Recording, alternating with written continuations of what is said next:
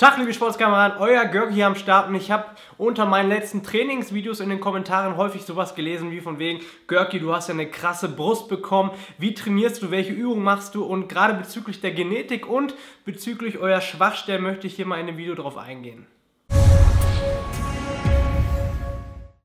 Im Verhältnis äh, zu den Oberarmen oder auch anderen Muskelpartien ist meine Brust eigentlich relativ gut, ähm, sag ich mal, ausgeprägt. Man sieht das jetzt vielleicht jetzt hier nicht so, aber... Äh, ja, die ist eigentlich schon ganz gut dafür ausgebildet, äh, dass ich jetzt nicht der übelste Bodybuilder oder sonst was bin. Und ähm, ja, es wäre jetzt zum Beispiel gelogen, wenn ich ein Video mache und dort irgendwie einen Titel reinschreibe, die beste Brustmuskulaturübung oder so. Weil man muss einfach ganz klar sagen, klar zieht das im Titel und ich ähm, würde euch damit ein bisschen catchen, auf das Video zu klicken, aber... Ähm, es ist halt bei mir so, dass ich die Brust jetzt nicht stärker trainiere als zum Beispiel den Bizeps oder die Schultern oder sonst was. Und ähm, nein, eher im Gegenteil, sondern ich vernachlässige die Brustmuskulatur eigentlich recht häufig, da ich eigentlich dort wenig Probleme habe, Muskeln aufzubauen. Ja? Und das will ich euch einfach mal mit auf den Weg geben, dass es für mich schon eine gewisse Genetik ist. Wir können jetzt mal einfach als äh, Vergleich zum Beispiel, ähm, ich hoffe, er ist mir nicht da böse, irgendwie den Simon nehmen, den Muskelmacher. Ihr kennt ja seine krassen Oberarme. Er hat schon den riesen Bizeps, der den übelsten Bizeps hat er.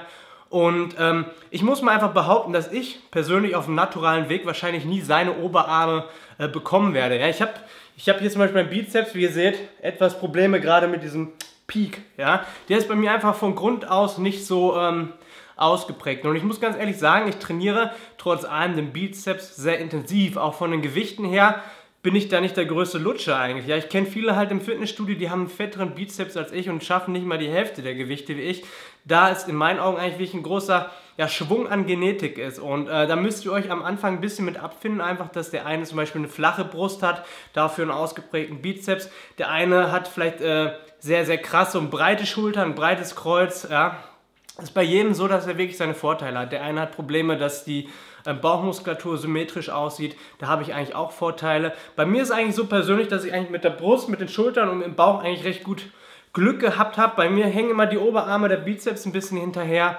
Ähm, Gerade auch die Waden ist so eine Geschichte. Ich trainiere die Beine genauso wie jeder andere, sogar häufiger zum Beispiel als mein Oberkörper die letzte Zeit, auch die Beine. Und trotz allem habe ich dort Schwierigkeiten, wirklich die Masse reinzubekommen. Und das möchte ich euch einfach mal sagen, dass jeder wirklich auch genetisch so ein bisschen vorveranlagt ist und ähm, ja, gewisserweise vielleicht den besseren Bizeps hat, die bessere Brust, die besseren Schulter, die besseren Beine. Und ähm, es hat eigentlich in der Regel nichts damit zu tun, ob man das jetzt hart trainiert oder nicht, sondern es ist einfach Veranlagung. Ja? Und deswegen ist es einfach so, ihr müsst einfach gucken, dass ihr diese sage ich mal, Schwachstellen, die ihr vielleicht genetisch äh, wohl ein bisschen benachteiligt seid, dass ihr die besser trainiert. Und da müsst ihr natürlich dann auf euren Trainingsplan gucken, wo kann ich da was verbessern und ähm, ja, abändern. Und das kann man immer nur individuell. Das heißt, wenn ich jetzt nämlich euch sage, pass auf, ihr müsst mein Brusttraining machen, womit ich Erfolg habe, dann ist es für euch wahrscheinlich zu wenig intensiv oder bringt euch niemals zu dem Erfolg, den ich mit dem Training habe, weil ich meine Brust nicht so übelst reizen muss, damit sie wirklich aufgebaut wird.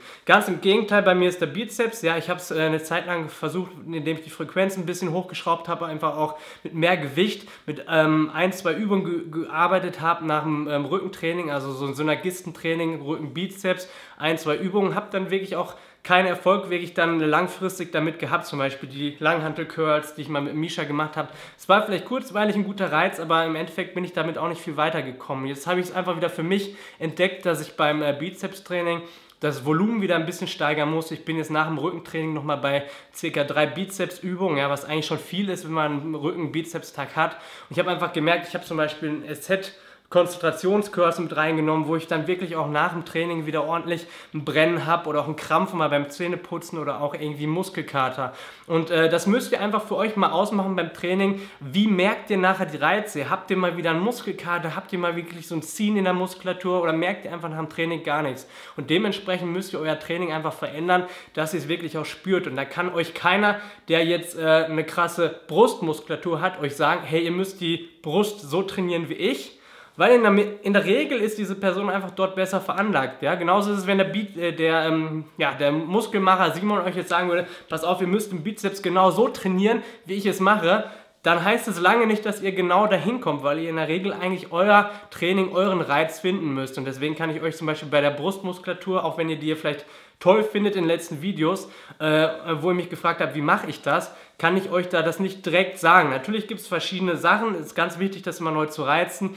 Und zum Beispiel kann man auch beim Split-Training da ein bisschen gucken, dass man an Schwachstellen geht. Zum Beispiel habe ich es auch oft gemacht, jetzt gerade wegen Bizeps oder wenn jemand generell Oberarmschwächen hat, dass man zum Beispiel den Split antagonistisch erstellt, dass man zum Beispiel Brust, Bizeps trainiert oder halt auch ähm, Rücken, Trizeps, dass man halt die Vorbelastung nicht drin hat der Muskulatur, dass man dann nochmal ein bisschen besser nachher isoliert die Arme trainieren kann und dementsprechend muss da wirklich jeder seinen Weg ein bisschen finden. Da kann euch leider keiner was vormachen, der gut veranlagt ist in dem, was ihr euch wünscht, sondern da müsst ihr euren Weg finden und immer wieder ausprobieren und gucken, wirklich, wie wirkt das Training auf mich, wie ist der Reiz, habe ich mal Muskelkater, zieht es noch einen Tag später? Und das sind wirklich Anhaltspunkte, an die ihr euch halten müsst, wenn ihr Schwachstellen habt, immer wieder neu reizen und wirklich gucken, wie merke ich das Training. Und das wollte ich euch mit auf den Weg geben, dass die Genetik in meinen Augen schon eine große Rolle spielt, gerade bei gewissen Körper- oder Muskelpartien. Und da müsst ihr einfach für euch einen Weg finden, dass ihr erstmal vielleicht auch das Volumen wieder steigert, dass ihr öfters die Woche diese Muskelpartie bearbeitet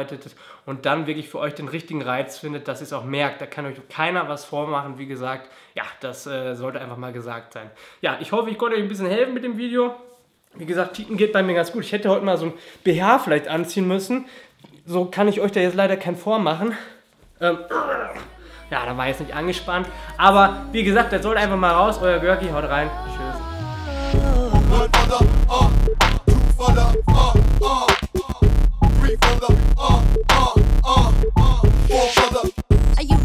This? You ready for this? You ready for this? Are you ready for this? You ready for this? You ready for this? I don't want your advice. You keep on talking like this future in no dreams. A thick web of lies.